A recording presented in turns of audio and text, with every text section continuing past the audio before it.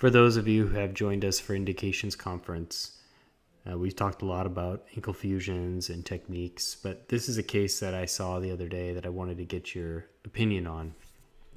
This is a 58 year old female. She comes in with this initial injury. It's in, significant to know that she has a history of type 2 diabetes with neuropathy, um, fairly dense neuropathy, and some other um, complications from diabetes.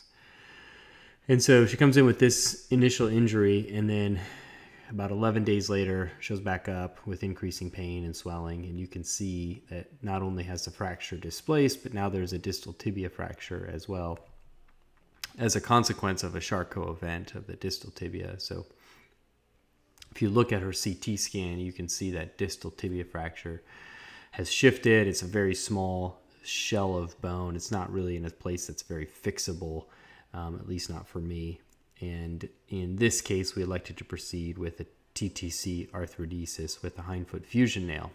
Uncomplicated, we used the um, uh, orthobiologic kitchen sink, including um, bone graft, um, and uh, you know felt pretty good about things. And this is where we were at in August of this year, so just a couple months ago.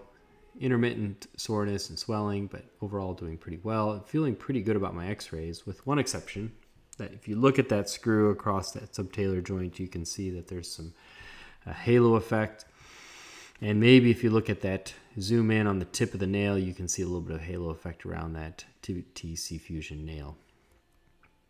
So she shows up with increasing pain about uh, about a couple weeks ago, and now she's had changes to the X-ray, which you can see the broken rod um, at the uh, at the screw that traverses the subtalar joint. And if you look at the lateral, you can see that there's been a displacement of the rod, and then and the CT scan confirms that there's a non-union at the subtalar joint. There's haloing around those spots that we saw before, and now we have a broken rod. Now you can manage this patient. You can manage this patient non-operatively in a AFO, and that would be very reasonable. She's having enough pain, swelling, and limitation that she'd like to proceed with surgery. So my question for y'all is, how am I going to get that rod out of there?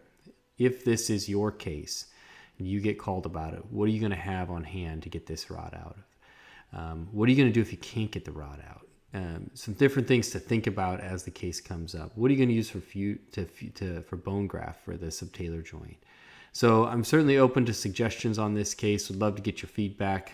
Um, uh, jump on here, send me a message, send me an email, and uh, love to get some discussion. Hopefully, I'll have a follow up for this case, and we can talk about um, uh, some different techniques that can be used, and um, if you ever run into this situation.